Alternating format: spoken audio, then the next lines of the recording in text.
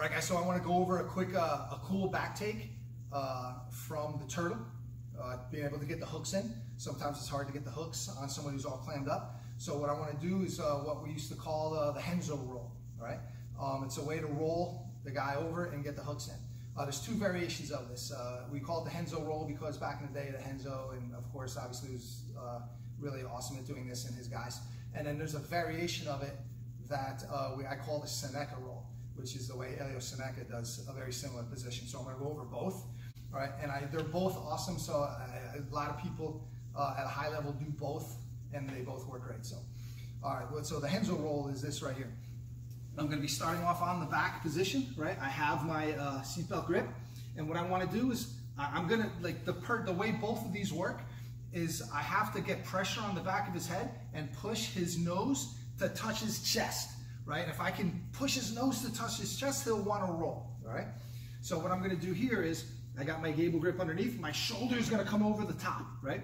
So what I'm going to do for the Renzo roll version is I'm going to roll straight off the top in line with it, right? Now, if you see I'm holding my gable grip really tight, of course, in real life, I'm stopping here to talk, I wouldn't be stopping. But I have the shoulder pinned on the back of his head, and I'm driving that shoulder pressure to make his nose touch his chest. And when I come across, I'm also gonna pull him and drive my shoulder and catch him right here. Boom. Let's do this side. One way this way. Same thing. I'm in the back, right? I'm gonna put that shoulder across the back. I slide straight off the front in line. I'm not uh, at an angle at all. It's a straight line. He's going to roll straight on top. Right here, shoulder back, pop, pop. Maybe one straight towards the camera. Sure. Okay? Yep. Here, right? I have my grip, right? Maybe he's defending his neck. I'm going to pop over the shoulder, pop up. I get the back. It's the Renzo roll. Soneca roll, very similar. The Soneca variation is a little bit different. The idea is the same, pressure on the head, get the nose to touch the chest, get him to roll. But my body position is to be a little different, so watch instead of, like, don't roll, hold him. So uh, instead of diving off the front, what I'm gonna do is I'm gonna do a quick hip switch. It's hard to do without going. But if you notice how that hip switch is, right here, right here, I come up, hip switch, ah. And my shoulder goes to the floor.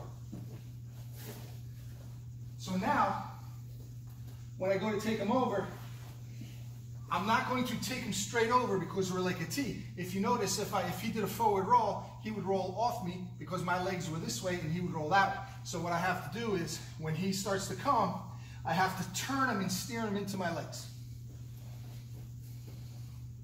Boom. Oh, you're gonna go this way, right? Boom. Another variation right here.